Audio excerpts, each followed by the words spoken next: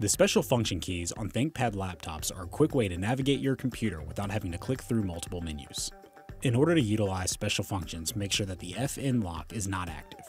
Hold down the FN key and press escape to toggle the FN lock on and off. Audio controls are found on the F1 through F4 keys. F1 mutes and unmutes audio. F2 lowers speaker volume. F3 increases speaker volume, and the F4 key mutes and unmutes the microphone. The F5 and F6 keys control your display's brightness. F5 lowers brightness while F6 increases brightness. If you are using an external monitor for working or giving a presentation, you can use the F7 key to access options to manage the external display. The F8 key activates airplane mode on your computer. To turn airplane mode off, simply press the F8 key again. Use the F9 key to access your computer's settings faster than navigating through the Windows menu.